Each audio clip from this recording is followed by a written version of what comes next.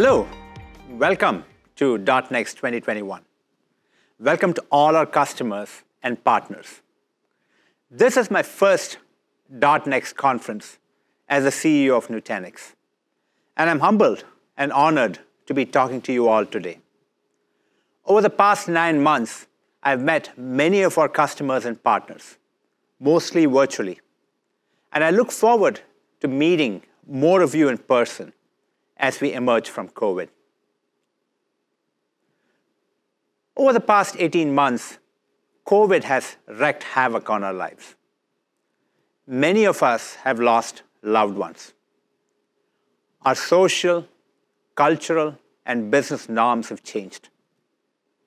We haven't met with our extended family, friends, and our coworkers. Kids haven't been to school. Our lifestyles have been altered with masks and social distancing.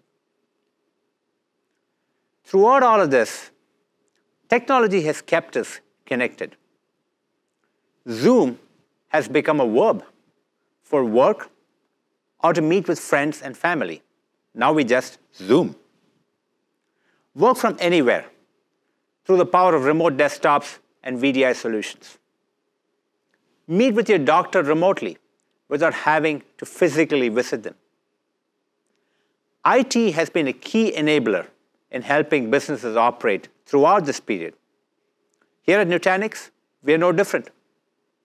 We have been operating with a distributed workforce for the past 18 plus months, and we expect the workforce to be distributed even post-COVID. Many of our customers across the globe have adapted to the new realities and have accelerated their IT journey in partnership with Nutanix. While Vodafone, Toyota, and Seattle Children's Hospital may be in three different countries and sectors, they are all adapted to the new realities by adopting and expanding VDI solutions powered by Nutanix. Faced with unprecedented strains of a pandemic, Vodafone, the $60 billion UK telecom provider, turned to virtual desktop infrastructure, VDI, to enable its workforce to work remotely. That implementation is now providing a high degree of resilience and reliability, serving approximately 50,000 concurrent employees scattered around the world. By providing flexibility for remote workers in offices or at home, Vodafone's VDI implementation, underpinned by Nutanix HCI, is helping the company breathe easier in a challenging time. Toyota, the Japanese car maker with a global footprint, had to adapt to the reality of working remotely. They're now designing their cars through their 3D CAD environment on Nutanix VDI and using these CAD models to work with manufacturing teams around the world, producing next-generation automobiles. This setup has not just given them the ability to work remotely, but also have deeper and better interactions with 3D models, replacing paper drawings. And finally, closer to home on the West Coast of the United States, Seattle Children's Hospital needed an IT infrastructure that is flexible and could be scaled up and down based on patient needs. Nutanix changed the way Seattle Children's could enable its employees going from zero employees working remotely to 4,000 remote workers across 46 sites who leverage VDI infrastructure to stay connected.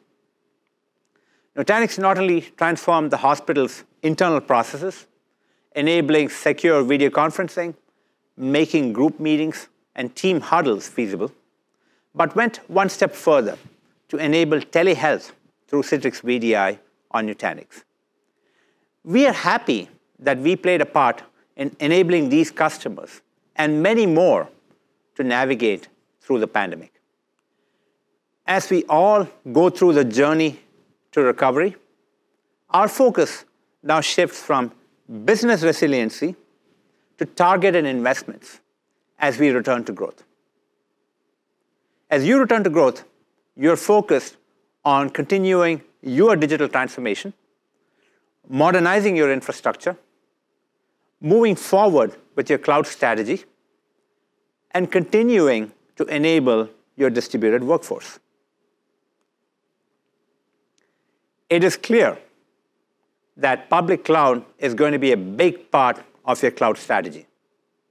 However, CIO's thinking in terms of where their workloads reside has evolved over time. As you can see from this Morgan Stanley report published this summer, CIOs have gone from believing that almost half their workloads are going to be in the public cloud by 2023 to now believing that just over a third of their workloads will be in the public cloud even by 2024. That's almost a 10 percentage point drop. A lot of this evolution is driven by concerns around data governance, security, performance for edge use cases, and undeniably, public cloud costs.